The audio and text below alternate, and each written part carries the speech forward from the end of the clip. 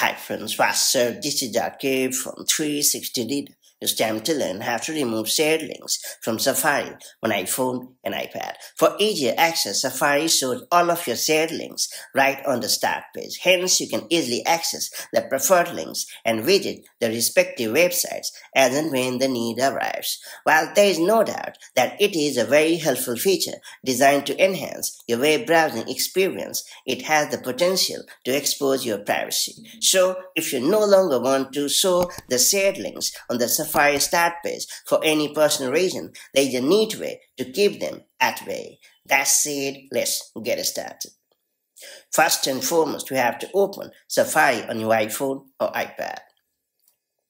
Now head over to the start page or tap on the tabs icon at the bottom right corner of the user interface and then tap on the plus button at the bottom left corner of the screen. Next, tap on the edit button to proceed.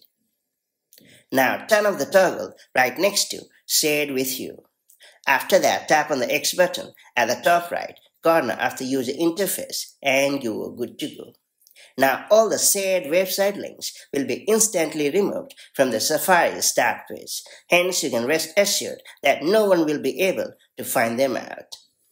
Later, if you ever want to show all the links in Safari, all you have to do is go back to the same setting and then turn on the toggle right next to shared with you and that's about it. So that's how you can easily hide or show shared links in Safari on your iPhone or iPad. If I found this video helpful, do like and share it and I'll see you in the next video with more such handy tips and tricks. Till then, stay safe and have a good time. Bye-bye.